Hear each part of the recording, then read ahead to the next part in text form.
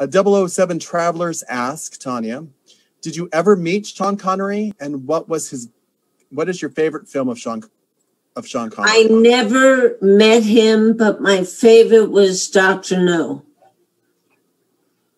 That was my favorite Bond movie nice. with Ursula Andress.